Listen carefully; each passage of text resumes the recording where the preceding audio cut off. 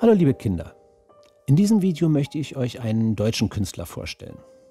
Gerhard Richter ist wahrscheinlich der bekannteste deutsche Künstler und auch einer der teuersten. Seine Bilder erzielen bei Kunstauktionen viele Millionen Euro. Ihr fragt euch bestimmt, warum Menschen so viel Geld für Bilder ausgeben.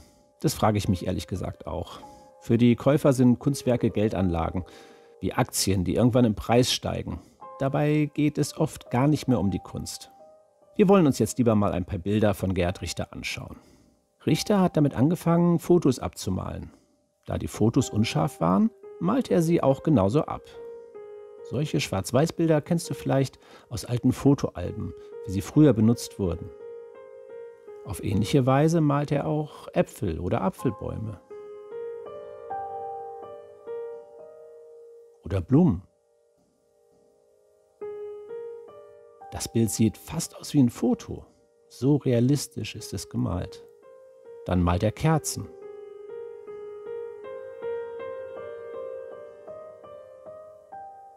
Er malt Wolken.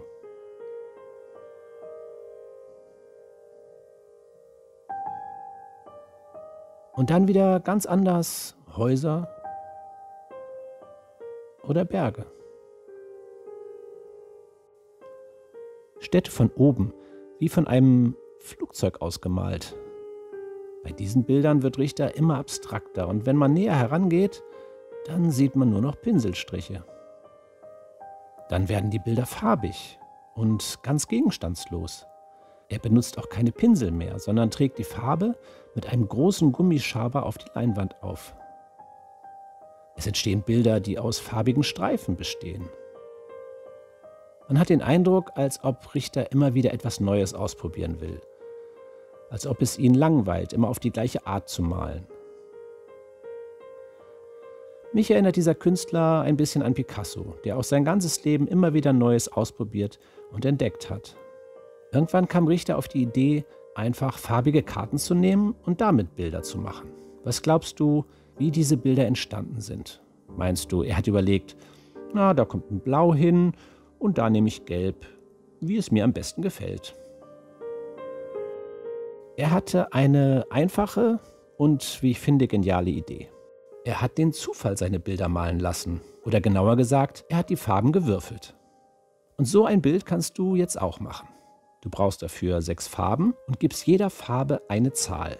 Bei mir ist eins violett, zwei rosa und so weiter.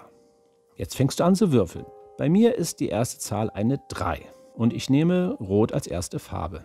Dann würfel ich eine 1 und nehme als nächstes Violett. Nun würfel ich eine 2, Vorsicht Katze, und nehme Rosa. Eine 5 und Gelb und noch eine 5. Jetzt eine 4 für Grün. Als nächstes kommen dann 6, 2, 5, 4, 1, 2, und immer weiter würfeln und die Farben legen, bis das Bild fertig ist. Für deine Farbfelder kannst du farbiges Papier benutzen oder auch Kästchen mit Stiften ausmalen, wie es dir am besten gefällt. Dann wünsche ich dir viel Spaß beim Bilderwürfeln.